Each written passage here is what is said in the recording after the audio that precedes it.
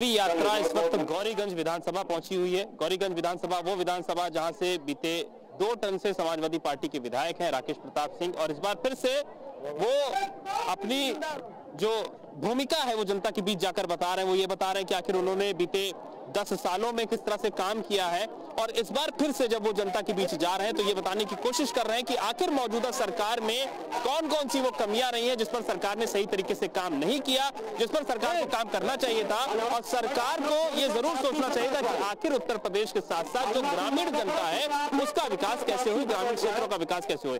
राकेश प्रताप सिंह हमारे साथ इस वक्त मौजूद है। सर, बहुत स्वागत है प्राइम टीवी पर आपका।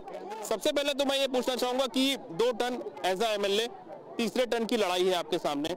क्या समीकरण है? कोई इस बार कठिनाई। क्या क्या मुद्दे हैं? किन मुद्दों को लेकर आप जा रहे हैं? क्योंकि इस बार आपकी सरकार भी नहीं थी।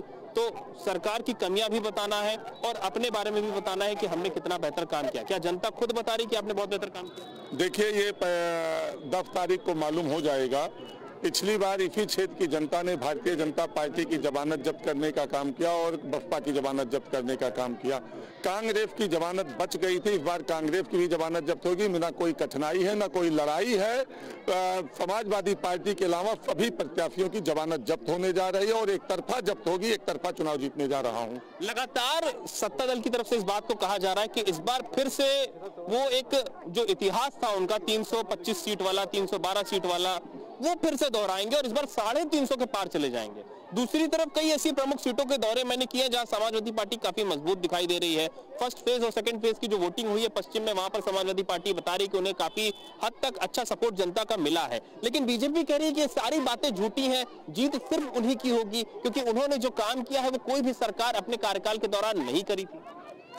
मुझे लगता है कि इन्होंने काम नहीं किया है, केवल बकवास किया है पाँच साल। और जनता को लूटने का काम किया है, गरीबी को, गरीब को और गरीब करने का काम किया है, उद्योगपतियों को बढ़ाने का काम किया है। और जहाँ तक सरकार की बात रही तो मैं दावे के साथ कह सकता हूँ कि सदन में 2017 के पहले जो भारतीय जनता पार्टी की स्थिति थी, उससे भी खराब होने जा रही है। दो तिहाई बहुमत से ज़्यादा सीटों के साथ समाजवादी पार्टी की सरकार उत्तर प्रदेश में बनने जा रही है। इसको कोई नहीं रोक सकता है। मैं आपको उदाहरण के तौर पर बता दूँ कि अमेठी जनपद में केवल एक सीट हमारी थी। इस बार हम चारों सीट अमेठी में जीतने जा रहे हैं। अच्छा। एक चीज़ और है सर। लगातार जो सत्ता दल है उसकी तरफ़ से जो मैनिफेस्टो है जारी किया जो गया था उस पर बात कही जा रही है कि जो हमारा मैनिफेस्टो है वो सबसे बेस्ट है। और समाजवादी पार्टी के मैनिफेस्टो के बारे में ये कहा जा रहा है कि इस मैनिफेस्टो में कुछ भी नहीं है। जो बातें कही गई हैं वो धरातल पर नहीं उतर सकती हैं। तो क्या ये हद तक सही है? क्योंकि जब अभी आप भाषण दे रहे थे जनता को संबोधित कर रहे थे तो उस दौरान भी आपने कई चीज़ों के बारे में बताया कि राशन की बात आपने कही आ, रोज़गार की बात आपने कही। इन मुद्दों पर सरकार फोकस नहीं कर रही है लेकिन वो ये ज़रूर कह रही है कि समाजवादी पार्टी का जो मैनिफेस्टो है वो किसी भी काम का नहीं है। हमारे मैनिफेस्टो में भरोसा करिए हम एक बार फिर से आपके लिए काम करेंगे। अठारह लाख छात्रों को लैपटॉप सरकार ने दिया कि नहीं दिया? पचपन लाख महिलाओं को समाजवादी पेंशन इसके पहले की सरकार दे रही थी कि नहीं दे रही थी? अपनी ही विधानसभा में मैंने 35 लोहिया समग्र गाँव करा के इकतीस सौ पचासी लोगों को सवा तीन लाख का आवास दिलवाया। तो जो समाजवादी पार्टी की सरकार में समाजवादी पार्टी के नेता कहते हैं उसको वो पूरा करते हैं और भारतीय जनता पार्टी के जो नेता कहते हैं, सब उसके उल्टा करते हैं, उनको बिल्कुल नहीं करते हैं। ये पूरी तरह से उत्तर प्रदेश की जनता के साथ पाँच साल छलावा किए हैं, धोखा देने का काम किए हैं, किसान को बर्बाद करने का काम किए हैं, मजदूर को और मजदूरी करते हुए भी उनको उस मजदूरी का अंत ना मिले, उनको गरीब करने का काम किया है, इन्होंने कुछ नहीं किया है। केवल राम रहीम के नाम पे, ईद बकरीद के नाम पे, होली दिवाली के नाम पे शमफान कब्रिस्तान के नाम पे इस उत्तर प्रदेश को पीछे ले जाने का काम किया है और समाज को बांटने का काम किया है। इस विधानसभा में तो मैंने लहर देखी, क्योंकि जब आप आ रहे थे, तब भी मैंने देखा कि काफ़ी लोग आपके साथ आए हैं और उसके बाद आपने यहाँ पे जनता को संबोधित किया तो काफ़ी लोग यहाँ पर बैठे भी हुए हैं। आपके राष्ट्रीय अध्यक्ष अखिलेश यादव करहल से चुनाव लड़ रहे हैं और बीजेपी कह रही है कि वो करहल हार रहे हैं। क्या ऐसा है? बीजेपी कह रही है वो करहल हार रहे हैं, इसी वजह से उन्होंने अपने प्रतिद्वंदी के ऊपर हमले करवा दिए और इसमें डिप्टी सीएम केशव प्रसाद मौर्य ने भी कहा कि समाजवादी पार्टी बौखलाई हुई है। मैं केवल इतना कहूँगा इस पे कि 10 मार्च तक इनको मुंगेरी लाल के हफीन सपने और देख लेने दीजिए, आराम की नींद लेने दीजिए। 10 मार्च के बाद इनकी नींद उड़ने वाली है, इनको नींद नहीं आएगी। अखिलेश यादव उत्तर प्रदेश में सबसे ज़्यादा वोटों से जीतने जा रहे हैं। ये जो कहेंगे, कुछ तो लोग कहेंगे, लोगों का काम है कहना, हमारा काम है केवल करना और लोगों को साथ लेके चलना। उत्तर प्रदेश की जनता और विधानसभा की जनता से क्या अपील है? किस तरह से वो समाजवादी पार्टी के पक्ष में वोट करे? और किन मुद्दों को लेकर के वो ध्यान में रखे और जब वोट डालने जाए तो वो समाजवादी पार्टी साइकिल पर बटन दबाए?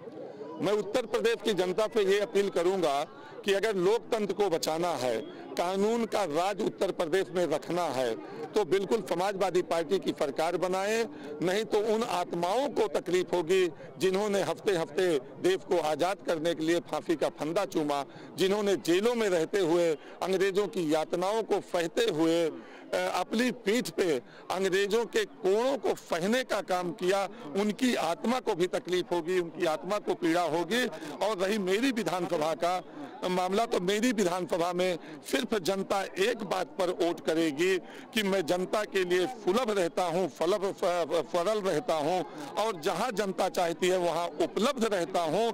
इसी आधार पर जनता यहाँ की वोट करेगी। हमको सबसे अपने करीब का पाके वोट करेगी।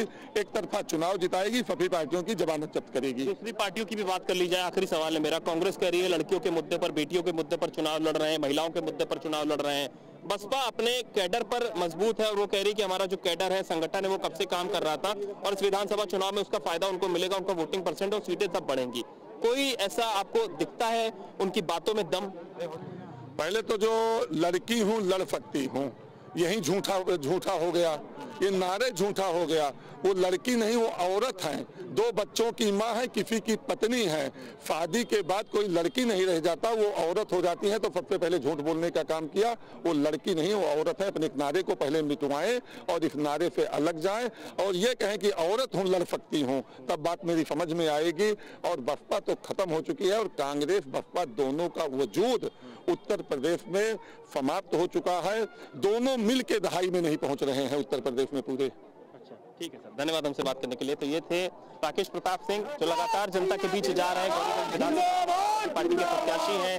दो बार विधायक रह चुके हैं, तीसरी बार की तैयारी जाकर के जन समर्थन की मांग कर रहे हैं। जो काम मौजूदा सरकार में नहीं हुए हैं वो समाजवादी पार्टी की सरकार आएगी तो उन कामों पर बेहतर तरीके से किया जाएगा और जनता के हित और विकास कैमरा पर्सन के साथ, मैं